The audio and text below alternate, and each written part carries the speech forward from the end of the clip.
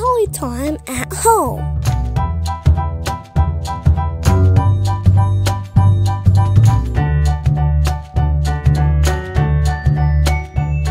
Hi everybody, I'm Gwen Roth from the Hamilton County Soil and Water Conservation District and today I'm here to talk to you about cicadas. This happens every 17 years in the Midwest and we're so excited to learn more about it. So today we're going to be reading the story A Periodical Cicada's Life by Ellen Lawrence.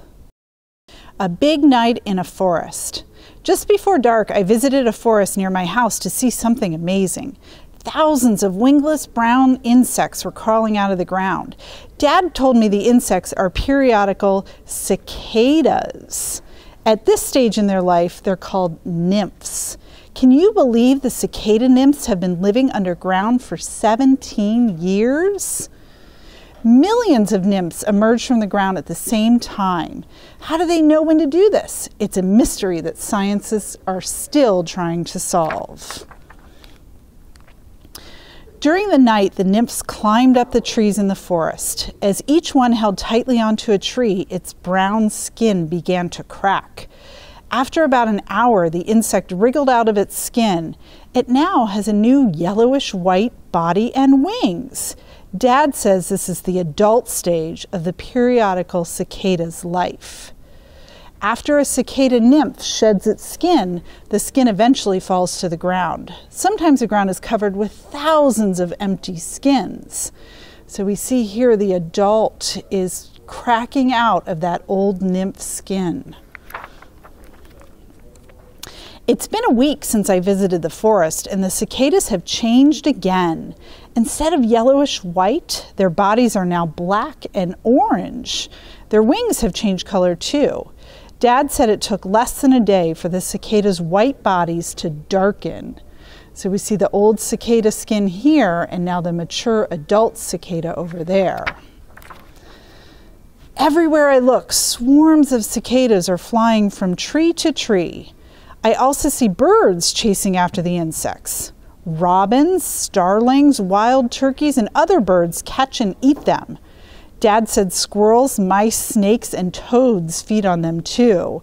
See, there's a toad eating a cicada. I can hear a very loud noise in the forest, but what is it? Dad said the male cicadas are singing to the females. The cicada sounds sound like tick, tick, tick, buzz, tick, tick, tick, buzz. The males sing to attract the females to mate with. The female cicadas answer by making flicking sounds with their wings. The male cicadas actually have parts inside their bodies that vibrate like a top of a drum. These parts are called tymbals and are used to make the cicada's song. A few days after mating, a female cicada lays her eggs on branches and twigs. Today, Dad and I watched a female making a small cut in the bark of a twig. She did this using a saw like part on the end of her body. Next, she laid 24 tiny white eggs inside the cut. Then she made more cuts in the twig and laid more eggs. And did you know a female cicada can lay up to 600 eggs? It's been six weeks since we watched the female cicada laying her eggs. We visited the forest today and it was very quiet. The adult cicadas have all died. Dad has something exciting to show me, though. Millions of tiny white nymphs are hatching from cicada eggs. The adult cicadas only live for about four weeks, and these newly hatched cicadas are smaller than a piece of rice. After the nymphs hatch, they fall from the tree branches onto the ground. Then they use their large front legs to bury themselves in the soil. In their dark underground world, the nymphs feed on juices from plant roots. They suck up the juices with their straw like mouth parts. And here we see the nymphs that's starting to dig into the ground. And they can live about two feet below the surface of the ground. Today I went for a walk in the forest, and it's hard to believe there are millions of cicada nymphs living in the soil underneath my feet. Dad says the nymphs will grow and change over a very long time. Then in 17 years, they will crawl out of the ground and begin their adult lives. The next time I see the cicadas in the forest, I'll be an adult myself. Periodical cicadas live longer than any other insect in the United States. Some periodical cicadas, like the ones we have here in Ohio, have a 17 year life cycle. So if you want, you can draw your very own cicada diary. And we also have some science words that we talked about in our book today. How the cicadas emerge or come out from in the ground. Insects, which is what a cicada is, it has three body parts and six legs. When they mate is when a male and a female get together to produce young.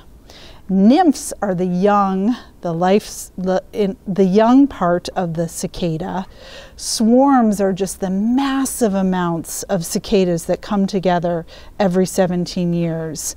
And that tymbal word, that was the part that the males have to make all those noises. So I hope you enjoyed our book about cicadas, and now we get to do a little fun activity where we get to make our very own cicada out of old toilet paper tubes. So what I've done is I've taken an old toilet paper tube and I've painted it. You can really paint it any color you want. I kind of have some black and some blue and some gray in here. And then what you want to do is you kind of want to smash the top along there. And then I cut some legs out of old pipe cleaners. And you can just take them and you can set them right inside there. And I use a little staple to kind of click it closed.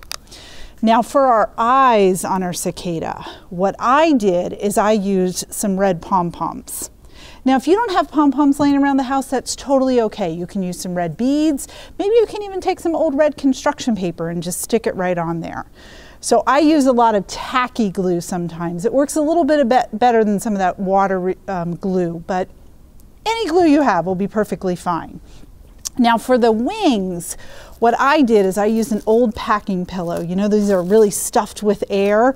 So I just cut it and I drew with my Sharpie marker some veins onto the wings. Now, if you don't have one of these packing pillows, you can really use any kind of plastic that you want. Uh, you can use an old sandwich bag, you can use an old grocery paper bag, that's totally fine. It works best if you have a permanent marker, but you can try it with any different kind of marker. So then what I do is I just take this and I bunch it up together and tie a little string around it, and then I can glue that right on top of my cicada. And how easy is that? We just made a super cool cicada out of some old stuff that we might even find right around the house. I hope you guys really enjoyed our book today and learning all about cicadas and learning how to make a cicada craft at home. Have a great day. Get free books in the mail. Sign up today. Go to Ohio Imagination Library.org to find out more.